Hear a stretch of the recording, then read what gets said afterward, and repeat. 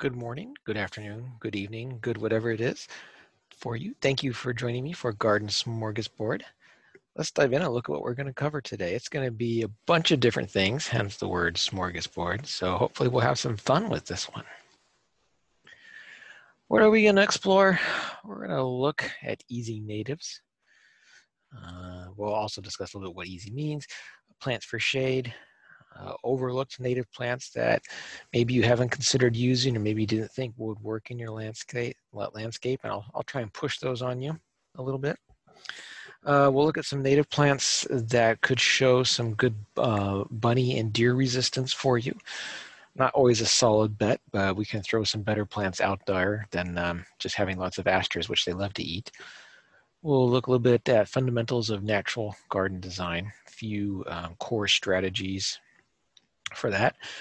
Uh, we'll also explore dandelion alternatives. This, that's going to be an interesting sort of uh, Oh, it might be a little controversial. Same thing with uh, less honeybee, more native bee talk, but we're going to look at some research and, and, look at some real facts about those issues. Are you ready to go? Yeah, we don't need any puns for this talk. Sometimes with classes I do that, but get freebie. All right, let's look at easy native plants. You can see a couple in this example. If you, you can, I bet you can identify some of these plants in here. Well, what does easy mean? I think when we say that, we tend, this is not an exhaustive list, but I think when we say easy, we mean these things. Uh, grows well with little input. So we don't really have to fuss with it too much. We don't have to water it too much. For, we don't ever have to think about fertilizing or all that stuff. Um, when we say easy, we also, I think, mean that it lives a long time. So obviously that would mean it's a perennial, um, but it's not just going to be around for a couple years. Hopefully it's here for five or 10 years. So it's just, it's just really a strong plant that's happy and well adjusted in its environment. We also mean by easy is that it doesn't take over because one of the hardest things in the garden is to have a plant that you love and are excited about and then in a couple years that bed is just that plant. You've got 20 square feet of just obedient plant or something. Um, if you're going to plant something like obedient plant in your garden, you want to make sure you have lots of other similarly aggressive species around it so they can do, duke it out and, and keep each other in check. And by easy, we also mean it doesn't get too big. Um, that's a very nuanced conversation we'll get into a little bit in a second. Um, but you don't want to plant something where the plant tag says it gets two feet tall and you know there's a perfect spot for it, and then next year the thing is four or five feet tall. That can certainly happen when the plant is put into soil that's too rich or doesn't have enough uh, plant competition, or maybe it gets to, you know, a little bit more moisture than it really needs. You know, it's a big one. What we say we mean easy, we mean site adaptable. So it's more forgiving. That means you can plant something in slightly dry soil or slightly moist soil, or maybe it just gets morning sun or maybe it just gets afternoon sun. I don't know, but it works in a lot of different site conditions. So it's a very pliable, happy-go-lucky plant. Now those are those are far and few between. That's why you really got to know your plant and, and know the site you're putting that plant into and make the make a good match. All right, what does it really mean when we say uh, easy native plants? That means plants match the site conditions, plants matched to one another. Now that one another, I was just talking about an obedient plant. That means you don't just, you don't want to have an aggressive plant in a bed surrounded by well-behaved, you know, uh, clump, clumping plants because guess who's going to win that battle? Plants with more compact form and or moderate growth rates. That's going to mean easy. I think about compact form, we think here you know, something I'm going to talk about nodding onion allium cernuum a lot today in several sections, but that's that's certainly one. I would even think uh, butterfly weed, orange butterfly milkweed, Asclepias tuberosa, relatively compact, relatively well behaved. Even even um, species that are, are growing out of corms underground, like like um, Liatris, are going to be fairly well behaved in general. So moderate growth rates um, in, in a more compact form even something like aromatic aster, Symphyotrichum oblongifolium, um, while it is going to slowly spread and eventually get three feet wide or two feet tall or something, it's it's still um, very shrub-like, so very manageable and easy to live with. So here's an example of easy native plants um, and, and some of the issues we run into. So something like purple coneflower, Echinacea purpurea, grown in a rich loamy soil and in a traditional mulched garden bed. Now, traditional mulched garden bed is you have a Echinacea, and then you're religiously following the plant tag, and you're spacing it like 18 inches away or something like that, or even 12. Um, then you have a bunch of mulch between the plants, and then you got your another plant 12 inches away, and then mulch. Um, that's that's a traditional garden bed where it's just one layer of plants, so the competition is very minimal. So in this situation, if that soil is rich and loamy, you're going to have a shorter lifespan on that purple coneflower. It's, it's going to tend to get to be too tall and flop over because uh, purple coneflower did not, did not evolve to grow in really super rich soil. This is why I'm always advocating against amending soil. Um, we because we, we, have been taught this idea that soils have to be this this perfect universal black loamy stuff. It smells very earth, earthy. That's not the case at all. Plants grow in all kinds of conditions. We know this, so we need to match those plants to our site conditions. Um, and Echinacea purpurea is not going to do well there. It likes clay soil. Clay soil has lots of nutrients in it, but it's also going to be um, much more adapted to purple coneflower. So yeah, place it in a leadership role and give it more competition. Um, it's gonna, you know, more root competition, uh, more foliage competition above ground. Plants, plants, especially in the prairie, meadow um, um, family group of plants, they thrive on that competition. They need it. Uh, so if you want a plant that's going to live longer and quote unquote be easier, think about Echinacea pallida. That's another coneflower, pale purple coneflower. It's going to live um, quite a bit longer than straight up Echinacea purpurea, purple coneflower. So plants are obviously going to behave differently in various site conditions and in various plant communities. So, and if you want to learn more about plant communities and this idea of competition and planting for root structure and, and layers and all that stuff, please check out the class Fundamentals of Garden Layers if you haven't watched it already. So here's a list of plants that, at least for me in my design experience and here at headquarters, out back and out front, I would classify as easy native plants. Um, obviously, for a lot of these plants, I am being careful with the research and making sure they're in the right place and in the right plant communities. But in general, I would say they are fairly robust and, and fairly forgiving a lot of us sedges are like that too. It's I think we have this idea that sedges prefer shade, whether it's moist or dry, but that's just not the case. I think about Carex albicans up there, uh, very first on the list, white tinged sedge. Boy, that thing far more adaptable than ever dreamed it would be.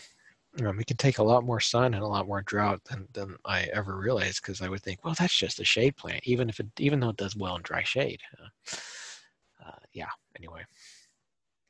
So here's a list going down. The ones with the asterisks, um, if they are in more open soil conditions with less plant competition, they might be a little bit more aggressive. Certainly depends on your soil type and, and again on, that, on, the, on the plant layers that you have. Pycnanthemum virginianum, uh, Virginia mountain mint, is is going to obviously move around by runners, but it's going to do far less so when you put it into a matrix, uh, something like uh, Bouteloua, Curtipendula, side oats grama, or little blue stem. Um, Senna, hebecarpa is one I think more people should plant but the seeds only need 10 days of cold, moist um, weather to, to be stratif stratified before they germinate in the spring. And it is going to germinate on you. You get lots of seedlings if there's not good ground layer plant competition. But that's a really robust plant. You'll see that one listed a lot for moist sites, but it can take a, a sizable amount of drought because it has quite the taproot on it. All right, you taking your picture? Let's move on. So there we go. I was just talking about Carex albicans. I'm gonna. I just love pimping this sedge. There's lots of good sedge out there, but that's certainly one. Heuchera richardsoniana. I talk about this one often across all of my classes, but look at that foliage. And, and look, you can see some of the, so this is probably early to mid-May, so, somewhere right around there. And the warm season grasses are just starting to get going around it. They're maybe, you know, four to six inches tall and then you, you, you got the uh, heuchera that's maybe about 12 inches tall and it's shooting up its um, flower stalks.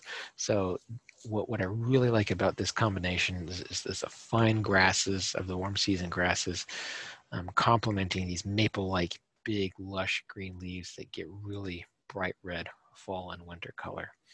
It's a stunning, stunning combination and it's right out there in nature. It's, it's right in the prairie near you. Just got to take it and bring it home. Liatris aspera rough blazing star.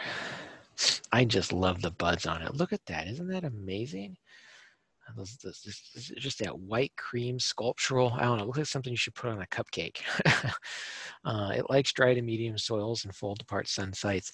Now, since it's coming out of a corm, which is a bulb-like structure, it's going to work great um, in, in a landscape where you have fibrous rooted plants that are that are serving as the matrix or the main ground cover. So think warm season grasses and sedge. Um, they're not going to be competing at the same levels.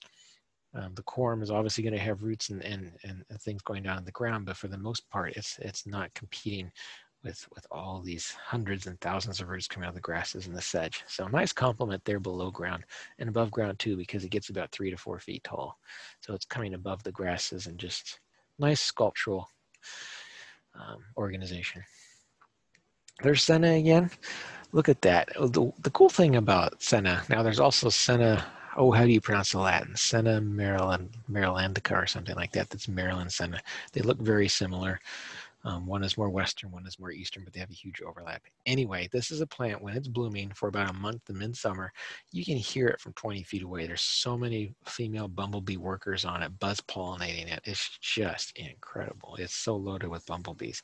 It's also a host plant for, I can't remember what sulfur butterfly species it is, but you will find eggs on there. Lespedeza capitata, definitely underplanted. You see it in prairies and grasslands and meadows all over the United States. Look at that stunning summer. Um, you know, the flowers aren't that showy, uh, but the, the, the, foliage certainly is a silver green, a little bit fuzzy. And uh, the winter seed heads are almost jet black, and they stay on there the entire, uh, entire winter. So let's look at some plants for shade. I can't tell you how many times people people email me or talk to me on social media and they're just like, yeah, all of your gardens are beautiful, but it's just all prairie plants. And I know those those prefer sun. Isn't there anything for shade? I don't think there is. I'll just go plant some hosta and a astilbe instead. No, please don't plant hosta and a astilbe. There's so many uh, options you notice some overlap on these lists, and that's good. I think that's very beneficial. Okay, so we got a lot of different sedge species. I'm going to got Carex eburnea on there in this one too. That's a nice low, um, soft, fuzzy troll doll sort of sedge for dry shade. So you will obviously on these lists need to research them no matter what. Put in the Latin name on an internet search. Do not put in the common name. You might end up getting another plant if you do that. Use the scientific binomial nomenclature. Um, sites I like to use for reference are Illinois Wildflowers, Prairie Moon Nursery, Missouri Botanical Garden, Lady Bird Johnson Wildflower Center.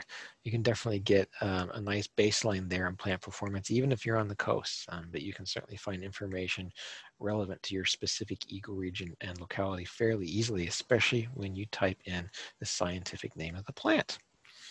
So a lot of different things here. We got stuff blooming on this list from, from spring through right on into mid-fall and I haven't even touched on on this list um, uh, woodland ephemeral plants. So those are those are plants that are just gonna uh, put out their foliage and blooms in the spring, and then they tend to go dormant early to uh, early to midsummer. I guess that'd be we do have one on there. If you can figure out which one it is, initials MV, you win a prize. So Carex sprengelii, this one isn't as low and flowy and undulating as things like Carex albicans or radiata or rosea. It's a little bit more upright, 12 inches tall, but it's still got a weeping nature to it. Perfect for dry to medium soils and shade to part shade. Now I'm just showing you some of these, some plants on a list, just some highlights. Once again, it is very beneficial for you to do, the research and do the work because that way you learn far more and you're way more empowered and you're way more confident than if somebody just throws things at you. Um, calico aster can be slightly aggressive if it doesn't have good plant competition or if it has too much sun. It does self-sow like the Dickens, um, but I have found the more competition it has, and what the way more in control, um, way more controlled it is the reason I advocate for it, even though it can be um, a little bit of a self-sower, is because the thing is just it's just totally covered in a variety of bugs and insects in late summer and, and early fall. We're talking just mass amounts of, of of pollinator diversity. It's absolutely amazing. And you can just put your nose and your hand in there, and everybody's so focused on getting pollen and nectar, they don't care if you're there. It's a wonder plant. Spring shade. I know everybody's probably, uh, you know, knows Solomon seal, but I hardly feel like it's planted anymore. It feels like it's a 1960s or 1970s plant, but my gosh, it, it is so robust and so easy to grow, especially in dry clay soils and full shade. I don't know why why we don't grow it. And queen, um, queen bumblebees in the spring, they're coming out of their nests. Um, you know, they're overwintering hidey holes and they're ready to start their new nest for the year and it's going to be one of the plants they're coming to to get pollen to uh, start start growing their workers. Thalictrum, however you pronounce it, it's okay that you can't pronounce things there uh, perfectly. Early meadow rue, incredibly underplanted. This is the female form. There is a male which has, which is going to be a little bit showier when it's blooming. Um, you get to see the orange pollen on it, but the foliage is absolutely outstanding something that will also pair well um, with the fine texture of sedges. Hey, it's already time for your first bonus section of the day. That's my Bob Barker impression. I hope you enjoyed it. Common first year weeds. This, this list probably represents 90% of, of, of, of the weeds that I have the biggest issues with I'm trying to establish a new garden from scratch, especially on a site that's been highly disturbed. And that's basically every site because you're always highly disturbing a site when you put in a garden. Even if you're spray killing the lawn and then planting your seeding straight into it, um, seeds are now going to germinate through the through the open cracks. Um, the sunlight's reaching down to the soil because the grass is dead. Um, and certainly if you come in and, and pull up the grass with a sod cutter, then you got bare soil and you got weed nirvana. So here's a list of plants. I'm going to go over four of them that I think are probably the most common that really aren't that big of a deal if you know how to manage them. Some of these plants you just don't have to actively manage. Um, they will go away on their own. Um, you don't have to worry about them, especially if you're planting a dense, thick, multi-layered garden. The, the native plants, the plugs that you put in are just naturally going to outcompete these weeds in the next year or two. That being the case, henbit does cause some issues, but I have found that it really does not react well to competition. Um, so there's one garden I remember we did we did flower plugs, so we did those in groups and masses and drifts, and we came in and we side and we we sowed in side oats grama. Now the first year we had henbit everywhere, and especially in the spring of the second year. Um, but once that side oats grama really started going, which only took a year, henbit has basically disappeared. It's just getting outcompeted. Prickly lettuce. It is unsightly if it gets out of control because you know these stalks are four to five, even six feet tall or something. It can get very large, especially on a rich, moist soil don't yank that plant out of the ground. I know when we're weeding, we think we got to go in and yank everything out of the ground, but when you do that, you're just increasing soil disturbance and bringing more weed seeds to the surface. Think about that. Those roots are going down six inches or something. When you yank those out, the soil's being yanked out with it, and all kinds of seeds are being yanked out in the soil. Then they have sunlight and more moisture, and they germinate, and you got more prickly lettuce just cut this thing down to the ground two or three times a year let it die uh, when the when the freezes come in the fall don't let these things flower, right? That's the biggest deal. Green foxtail, we have lots of foxtails. There's yellow foxtail, there's green foxtail. Very common annual that, that, that comes in first year gardens. I've managed this in two ways. One is to leave it alone, but you might not want to do that because each one of those seed heads has hundreds of seeds in there. So it, it's a lot. Now they're gonna they're gonna have a very hard time germinating once the garden gets very thick and lush and shades the ground because they need sunlight to germinate. Um, if you want to be really active in the first year, you can just clip the seed heads off as as they as they flower, and you'll be fine. Black medic may be a little bit trickier. Uh, I have I have problems with this in in lawn areas in some landscapes where the lawn is not being kept up pristinely, which is fantastic, right? In some ways, we're like, yay, celebrating that. Um, but black medic really likes sun and likes a lack of competition. Once it starts to have more competition, it really struggles, and it and it can struggle even more if you have if it's in an open area if it's in an open area when you keep hacking it back and trimming it down really close to the ground, either by hand or with scissors if you're that anal, or just mowing it down really, really low. It's still going to set a lot of seed. So the goal here is just to basically with most of these weeds to shade out, shade out the seedlings and shade out the seeds so they never get a chance to germinate. All right, let's look now at a list of overlooked native plants. And you, you might look at this list and say, oh, these aren't overlooked. I know all about these. But in my experience across the spectrum, I think a lot of them are overlooked, unknown, or, or just, you know, well, why, why would I ever use these? Wild quinine. That one comes with a caveat number one, we should definitely be planting it more because it's gorgeous. The foliage, um, the, the flower heads are so unique. We'll look at them pretty soon. But I have definitely found that when you're planting it from plug, it establishes a lot better when you do it in spring than in fall. I don't know what the issue is. I haven't researched it. I just know it's a real issue that it doesn't have enough time to establish when you do it in fall or even late summer. So get that in there in April, May, or June, whatever you know, whatever you are north to south is going to be earlier in the south, later in the north. I talked about round-headed bush clover and prairie alumroot. Bottle brush grass is good for shade, so it's a little taller grass. A lot of most of our sedges are short, one to two feet tall. So if you're looking for something taller, here you go. It's not going to be full and lush. It's going to be pretty open though. Tall coreopsis, probably my favorite coreopsis out there. Man, forget those coreopsis that are 12, 18, 24 inches tall. Boo, boring let's get this guy out there. It's six to seven feet, maybe even eight feet tall if it has consistent moisture. Very open form, slowly spreading by rhizomes. You, after maybe about three or four years, you have a nice clump of two to three feet wide or something like that. Uh, very wind tolerant, so it's not going to get blown down and snapped. It's very forgiving. I just love it. Uh, and, and it's blooming in August primarily. So that's definitely a time of the year when I think a lot of gardeners are wishing they had more flowers out in their landscape. Just put it in the back of the border or the center of the border because it's so tall. White wild indigo. We all know about other baptisias, the purple blooming ones, and even the cream and yellow ones. But what about a really nice white one?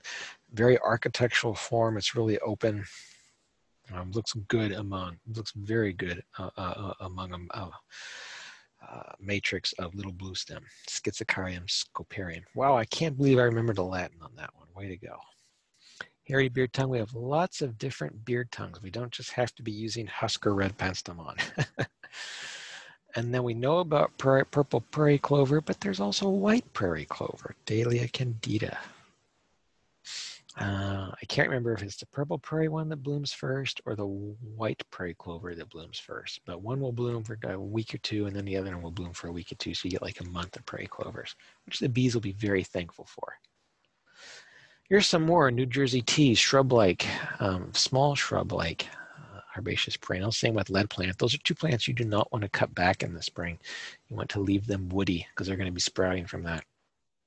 There's our cream wild indigo. Maybe you have and maybe you haven't heard of Baptisia bracteata, but check it out. Then we have lots of milkweed, spider milkweed, short green milkweed, Culver's root underplanted. I think we'll look at a picture of that one in a second. Um, and then our vervains. I definitely think we look at Verbena stricta, hoary vervain on roadsides and think, oh, that's just a weedy flower driving out in the country. But it can be very useful garden plant and it is very good for pollinators. And then blue sage, a favorite one for me when I walk in a prairie. I don't see it very often, which which is surprising because it germinates so easily from seed. It's one of those herbaceous perennials you can sow in June and um, it's going to be fine. It doesn't need any pre-treatment. There's your wild quinine, Parthenium integrifolium. Uh, I wanted to give you this picture, this vantage point, because I wanted to show you the cauliflower-like flowers.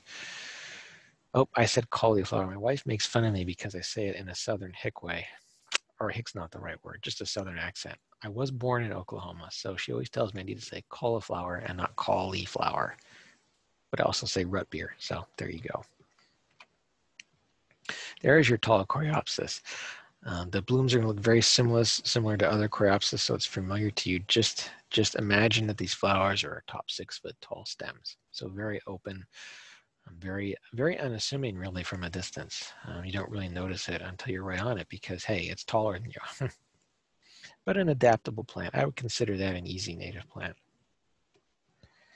There's our Veronicastrum virginicum. Gave you a close-up this, uh, of this one too, because unlike in this picture, generally it is covered in all kinds of pollinators and it will be blooming for several weeks in midsummer. You will want to have at least a medium moisture soil, if not consistent soil moisture. It will do the, the best in that. And I think even in clay soil, something too rich is going to get a little bit too tall and floppy. And it will, like a lot of these other plants I've talked about, benefit from plant competition in the root zone. There's a verbena, blue vervain. That's another taller one. I'm throwing tall ones at you because as, as, much as I espouse to, to gardeners, when we're thinking about garden design in front yards, about short plants and having, we want short plants in their front yard because people then won't be scared by them. They won't, it won't be overwhelming. But as much as I talk about short plants and having a, um, a landscape that's appealing to people driving by, I also know that we have inc some incredible options for taller plants that we can be put in the back of the border or in the backyard even. Uh, Verbena hastata is one of them. Works well in combination with the tall coreopsis, um, Culver's root, um, so medium to moist soils. Um, you really probably do want a clump of this because the flowers are very tiny and unassuming. I had to really zoom in here to, to show you because these are very tiny flowers. So if you can get a, a, a clump of a couple plants, that'll do better for you. But don't worry, you're still going to get plenty of pollinators on it. Lead plant. I just love the leaves on this one. I mean, the flowers are good too, but I love these silvery, soft sort of sort of texture, especially on grasses and such.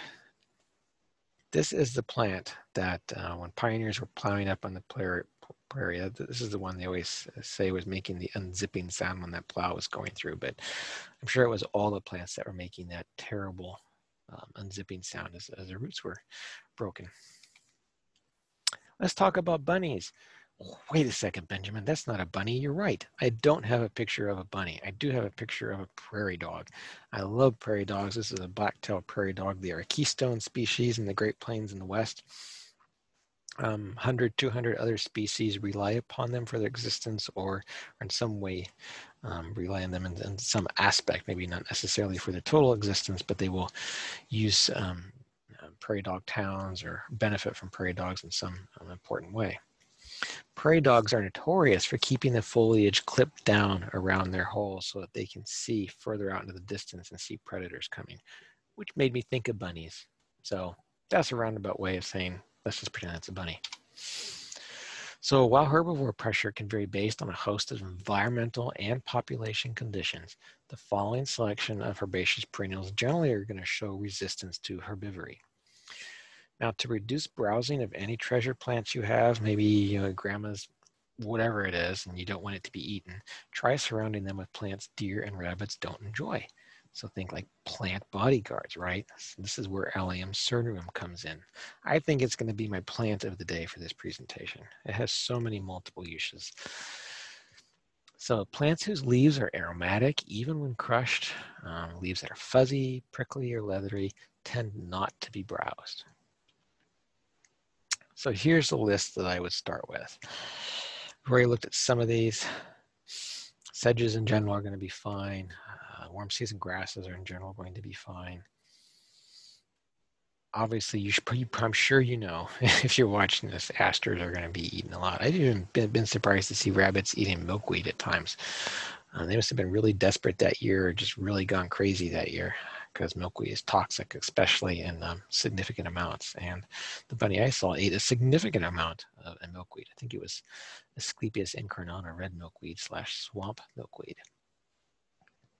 So a lot of these plants are sun, some of them are shade. Once again, you got to do the research. It'll make you stronger. It's like eating your vegetables. Eryngium yuccifolium, missing a C in the scientific name. I'm sorry about that. Dry to medium moist soils in full to part sun. Even after it's done blooming, and it's about done here, it, it looks fantastic um, for the rest of the summer through at least half of the fall, if not the entire fall. There's your allium, going to be about 12 to 18 inches tall. And I love to just see drifts of, you know, 12, 15, 20, 30 going through uh, a planting of warm season grasses or sedge uh, because, well, it's just beautiful. That's why. And you have bumblebees hanging upside down from the flowers, which is always fun to watch. Goldenrod species are generally going to be resistant. Showy goldenrod is this one right here. Now, when I say generally resistant, I'm using these qualifying words for a very specific reason because we cannot accurately predict what pressures um, populations of herbivores like rabbits and deer are going to be going through year by year. They might have a population explosion and there's just so many of them, they're going to eat everything and anything they can get their hands onto because resources are limited. Um, there might be a disease year, it might be a bad winter, and, and their forage is going to change a little bit. They're going to be more desperate. So there's all these different um, population and climatic variables that we just can't predict. So I'm not going to say these plants are perfect, but they are generally better. Blue sage, absolutely, because it has very um, aromatic foliage. It smells good. Sagey, what do you know? Bright blue flowers too. That's pretty close to accurate color if your monitor is, is even halfway decent. Pycnanthemum, obviously fragrant. I think Virginia mountain mint is a little bit more fragrant than slender mountain mint. Um, I don't plant muticum out here in the central United States because number one, it's native, and so and, I mean it's not native in the central U.S. But even if you do plant it, man, it spreads like crazy. It probably spreads like crazy in the east too. Don't plant it. All right, let's look at the five fundamentals of natural garden design. This is sort of a crash course. If you haven't looked at any of the other classes, um, this is going to give you a quick overview of what natural, natural garden design means and how to do it. So I've already talked about this a little bit, selecting plants that are behaved in relatively short, under three feet.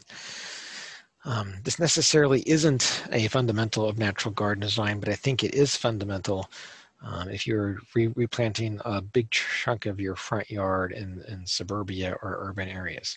Because again, you want to have shorter plants that, that are a little bit more unassuming and and um, that people can see over. And uh, people people don't like tall plants. It's it's sad.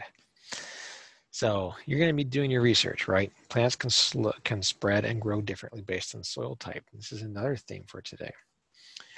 And that's one reason why gardening by ecoregion versus hardiness zone is such a good idea. And you want to look at the course starting your native plant garden for that one basically we have what is it like 900 different ecoregions if you go down to the to the most most specific map. Um, whereas USDA hardiness zone, you know, zone five out in Virginia and zone five in Colorado, totally different plant palette, totally different climate. So even if you're using a plant that's native to both areas, it's going to grow very differently. And you just you got to be looking at ecoregion when you're doing these native landscapes. So another fundamental, planting in drifts and masses. This is definitely universal, no matter the height or, or spread of your plants. Generally, the larger the bed, the larger the masses and drifts. So, and if you can do that in layer, and be nice if you can do that in layers. So you have ground layer, and then you have that's maybe a foot or below, a mid high feet high, and then architectural plants, which are going to be your least amount of plants. They'll be getting three, four, five, six feet tall, or can be even using small shrubs or, shrub, uh, or small trees is in, in that architectural layer.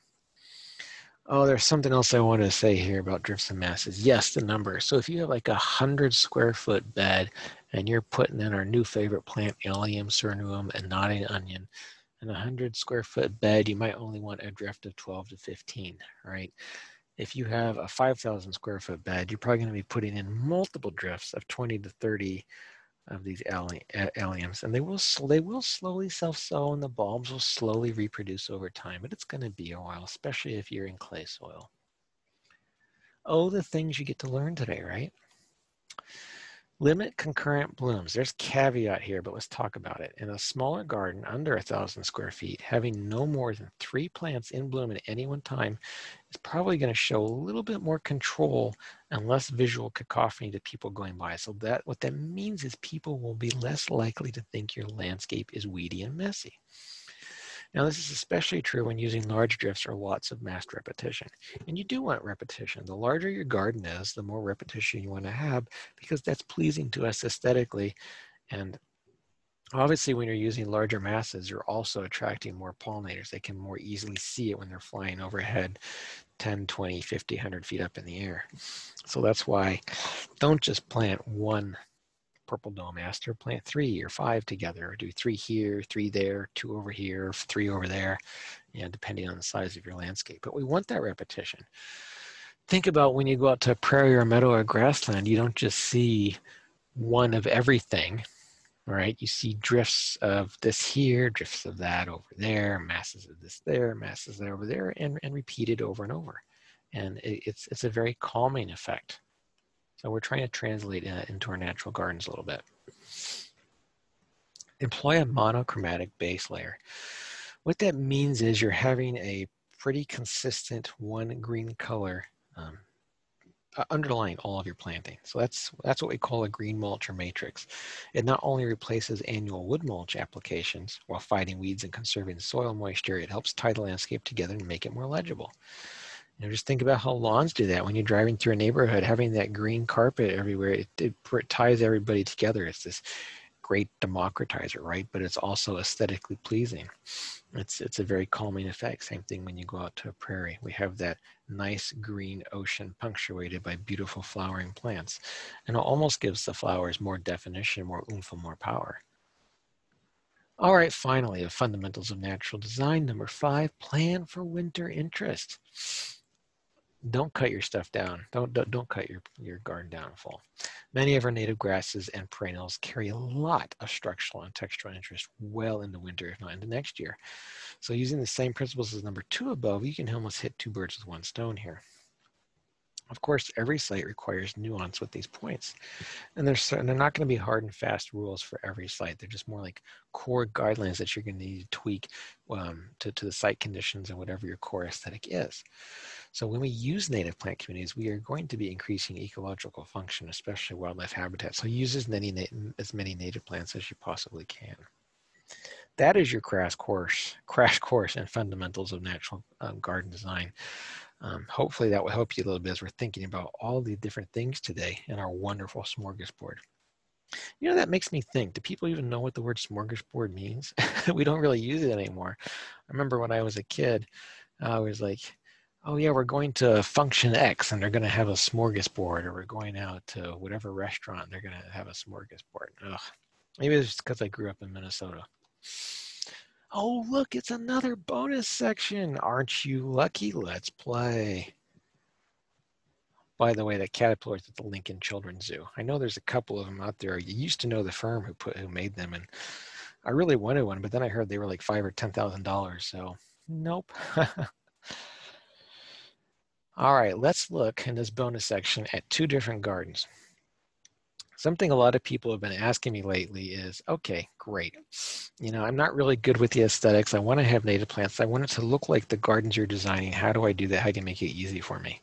Well, it's it's it's actually not easy to make it easy for you because I don't know your site and there's so many so many little microclimates going on. That being said, I'm familiar with natural plant communities and, and the habit of plants, um, regardless of whether they're going in clay, growing in clay or, or, or or less soil or wet or moist soil because they're always going to perform differently, right? Depending on the soil conditions. But I'm familiar with the plants, I'm familiar with the community. So I can say, okay, you have a dry to medium shade garden. Let's put a matrix down of Carex albicans or Carex rosea. I'd be planting those every 12 inches. And we're going to assume, we're going to assume it's like a 100 square foot bed, right? So in that, so, you, so that means you probably have 80 to 100, something like that sedge in there. And then you're going to come in, you're going to put some early meadow rue in, um, three to five plants. So you might want to do, actually put those all together because you, you're, you're going to want to show it off a little bit more. If you put them too far apart, you can't really get the effect of them. So three to five phylloxera, early meadow rue, meadow rue together. Um, wild columbine, seven to 11, maybe you want even more. They don't really last that long. And, you know, that red is very showy. Just do a drift of 15 through your landscape, just a nice weaving drift. Put a couple geranium out there, one here, one over there, one down here. Um, they're going to spread a little bit on you. Polygonatum biflorum, maybe you just need one or a clump of three. Really, really depends on, on, on the, the bed itself, what the, what the best aesthetic is going to be. And maybe put a couple Symphyotrichum cordifoliums in there. Um, oh my gosh, what's the common name? Can't remember. Anyway, it's a blue woodland aster. So Maybe you do one here, one there, one here, or you just do a clump of three. Again, it really it really depends on, on you know if this, what structure this garden bed is around, or if it's out in the open. So um, you can certainly use more uh, of these if you want to. But this these are all going to grow really well together for lots of reasons: texture, um, roots, planting behavior, habit, all that good stuff. Now, you got a dry to medium sun site. Let's have our matrix b site it's side oats grama or prairie drop seed. Once again, you're looking at about every 12 inches, centering those on there. So 80 to 100 plants, something like that in a 100 square foot bed. And this will be the massing and drifting. So put three Baptisia minors together, put three Asclepias tuberosus together. You can scatter those if you want to around, but it might be better as one large clump. Echinacea pallida, I would do like a drift of those, uh, five, maybe even seven or eight, just a nice little drift somewhere in the bed. Um, you're going to drift the allium, cernuum, the nodding onion. Uh, you might want go on the higher end of that. Liatris aspera, do that as one group as well. Those are going to get three to four feet tall. So you probably a group of three. Um, if meadow voles leave your Liatris corms alone in the fall, after a couple years, you're going to have something like five to seven stalks of flowers coming up. So consider that when you're thinking about how many plants you want. Another way I look at how many plants I want is, well, let's plant a couple extra because we're probably going to lose some. It just happens. It's nature. It's natural selection. So why not plant a little bit more? If you're using plugs, it's very economical. And then one Symphyotrichum oblongifolium, that's the aromatic aster. That thing gets about three feet wide after five years. So give it plenty of room. But you want it because it's got these beautiful flowers that are going into October, sometimes even November in a good year. So late season pollinators are going to be very thankful to you. All right, let's talk about dandelion alternatives. What do I mean by dandelion alternatives? Well, let's see if I if I can try and not not cause too much trouble. I hear a lot every spring that dandelions are the first flower, and we've got to leave them because pollinators need them. Nope, nope, nope, nope, nope. Um, dandelions are not the first flower, and pollinators do not need do not need them. But yeah, let's leave them. Let's not be spraying chemicals all over the place, right? We don't need to do that. Dandelions are also good at opening up clay soil, but they got some negatives. I think that would be the second slide. So dandelions only provide marginal pollinator nutrition. For example, a native plant like pussy willow salix discolor has a 14% protein content in its pollen, whereas dandelion only has 14%. So it's a big difference. Pollinators are going to be wanting to use and will be a lot healthier if they use something like pussy willow, which is going to be blooming during the same time as dandelion window is. We also do have native dandelions, like I'm not going to pronounce the scientific name, but it's called prairie dandelion. Not very, not well cultivated though, however, but it's out there. So the interesting thing about uh, the uh, the dandelion that we most commonly see everywhere is that its leaves and roots are allelopathic, meaning they inhibit growth from nearby plants. One study even suggests that the pollen has the same property. So when a pollinator dumps dandelion pollen on another plant, like a native plant, the pollen actually inhibits seed production. So yeah, we probably do want less native, we probably do want less dandelions around, but if the alternative is that we're spraying chemicals over the place, we probably shouldn't be doing that to get rid of them. Better to outcompete them with thick, lush native plant gardens. So you're going to love these couple of slides because they give us alternatives to dandelions. And what I mean by alternatives is plants that are going to be more beneficial for pollinators we're talking nectar and especially pollen. And these are all native plants. They're going to be blooming before, during, and right after the dandelion bloom window.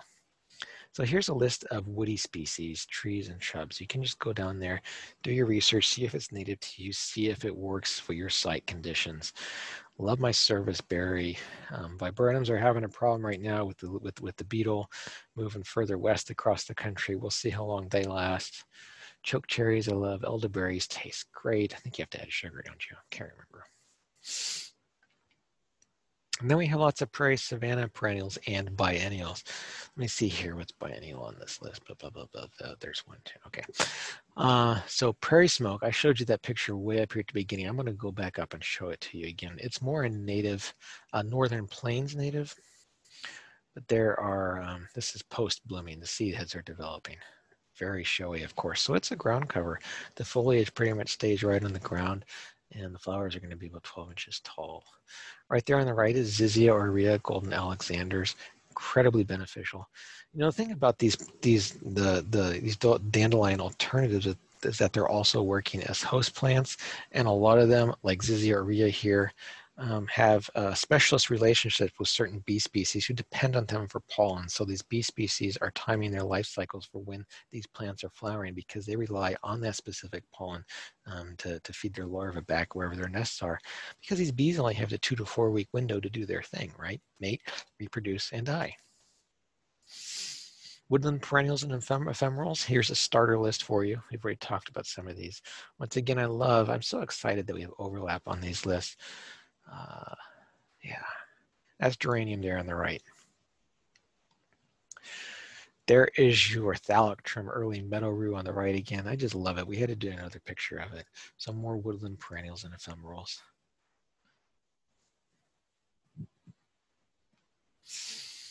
All right, this will be our last topic and probably, well, maybe as controversial as dandelions, I don't know. Um, less honeybee, more native bee. What do I mean by that? Let's go. You probably know what I mean. I have a friend who said this keeping honeybees to help pollinators is like keeping chickens to help grassland birds. We have we have a media, I don't know, we have a national conversation where we we first heard about the troubles that honeybees were having. Well, honeybees are globally stable. Their numbers are going to be fine. They have high colony numbers actually. Um, but they're really just an agricultural issue. They're not a conservation issue because we've brought them in, we move them around the country, we stress them out. We're actually harming the honeybees. Um, keeping honeybees does not help native bees. We have almost 4,000 species of native bees. If you want to help native bees, you need to be planting native flowers and having large, diverse gardens wherever you possibly can. Now, Another detriment that honeybees have on native bees is they have large colony size and they have a large forage range, which means they're going to be spreading disease a lot more easily. So they'll go forage on a flower, leave some nasty something there, and a bumblebee or a sweat bee or somebody will come along and, and pick up that disease, and that's the end of it. So we got mason bees. These are just some of our native bees. We got mason bees there on the left. Um, oh my goodness, that's a small carpenter bee. I can't remember exactly the name there on the right, but if you leave your stems up 12 to 18 inches in the spring cut down, you'll have these small carpenter bees, hundreds, thousands of them coming in and out of all the stems in your garden. And that's a Melissodes there, a specialist on sunflower uh, family plants. Right there sneezeweed. You can see all that pollen she's got. It's just amazing and beautiful. Fuzzy and cute, aren't they? So less honeybee, more native bee. Let's be more concerned about native bees because they do by far the bulk of the pollination. They're better pollinators, they're more effective pollinators, they give us better fruit set because we have so many diverse species working the blooms at the same time. You know, honeybees, just, just one species. If you want a really good strawberry, you want to have as many native bees pollinating that thing as possible because there's all these little flowers on it. So this is from the Xerces Society. It's uh, you can hopefully just type it into your, your browser. It's a solid summary of all the issues that focuses on, on working with beekeepers for the best apiary placement. Because one of the issues is that um, if we're if we're placing these honeybee colonies too close to wild bee habitats like prairies or meadows or something like that, they're going to be out competing the native bees, stealing stealing forage resources like pollen, and leaving the native bees just you know out of luck. Not to mention that disease issue we just talked about. Here's a study that focuses on Southern California. And as you may or may not know, California is one of the richest states in native plant diversity. And of course, it's a bee mecca. The entire Southwest has incredible bee diversity. So for this study, you got to keep in mind that many native bees have evolved to use specific native plants for pollen to feed their young. That's, that's our specialist bee that we're talking about before.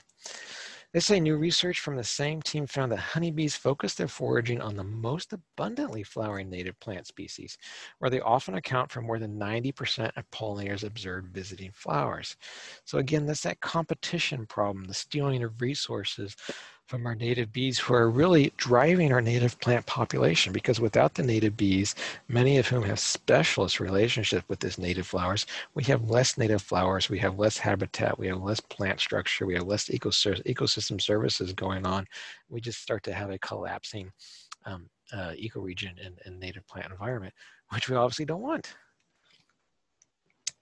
Here's another, here's another link. Um, it's a Huffington Post article, but it's linking to scientific articles. So one of the most important studies of uh, native bees looked at 41 farms on six continents that grew almonds, blueberries, buckwheat, cherries, coffee, blah, blah, blah, blah, blah. The results blew up the conventional wisdom. Wild insects increased fruiting in every single farm where they were present, but honeybees only produced a significant increase in fruiting 14% of the time. There wasn't a single crop for which increased fruiting caused by honeybees outperformed that of wild bees. On average, wild bees delivered twice the bump of honeybees. So yeah, let's get more hedgerows, even in our, an urban environment. Hedgerows are wonderful native bee habitat. Remember that 25% of our native bees will be nesting in cavities in, in wood or stone or something like that, but the majority, almost 75%, are going to be nesting in open ground. So have open soil patches in your landscape, especially if it's loose soil, um, sand, loam, loess soils, going to be perfect for queen for for mama bees getting their uh, getting their larvae pushed uh, push put into the soil. And this even is the kind of habitat we need to be seeing in our cities and urban areas wherever we can get it it doesn't matter that there are cars driving by and perhaps once in a while we unfortunately lose an insect to a passing automobile's grill. We need this habitat everywhere, and not just for pollinators. You can see the cutouts in the curb right here. This thing is bringing in water and cleaning it and filtering it before it overwhelms storm drains. So, hey, we got to be doing this. It matters on so many levels that is the end here. I hope you will consider joining Prairie Up. It's our online membership community where we're having we have some very deep science-based conversations with lots of expert gardeners around the country. It'll really, it'll really kick, kick it up a notch, take it up a notch for you and your garden um, in the future. I promise you. As always, Yimby, yes, in my backyard. I hope you've enjoyed this presentation. It's been a little bit different than what I usually do. Uh, if you can find a smorgasbord near you, email me and let me know about it. Please don't email me and let me know about it. All right. Thank you for joining me. I hope you have a good day. Prairie up.